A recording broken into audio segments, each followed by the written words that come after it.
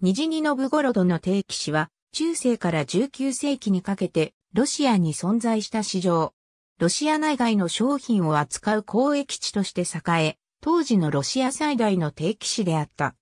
1641年、ゼルトボツキー・マカリエフ修道院の修道士たちが特許上によって市を建設し、この町はマカリエフと呼ばれた。ボルガ川の水運に恵まれて発展し、毎年7月の3週間にわたって市が開催された。敷地は2リーグ平方に及び、交易用の店舗の他に、居酒屋、コーヒーハウス、劇場、ダンス場などの記者も建設された。商品には、シベリアの毛皮、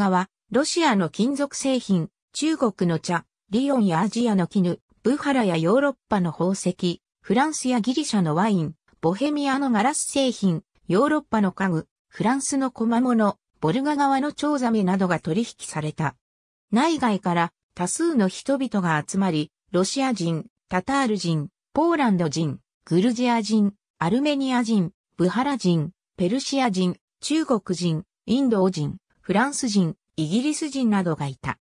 定期市の発祥の地であるマカリエフ修道院1751年まで取引に課せられる税は修道士によって徴収されていた。1816年の大火災によってマカリエフは消失し、定期市は上流のニジニノブゴロドへ移された。ニジニノブゴロド定期市はオーギュスト・モンフェランにより建築され、店舗は2500以上入るように設計された。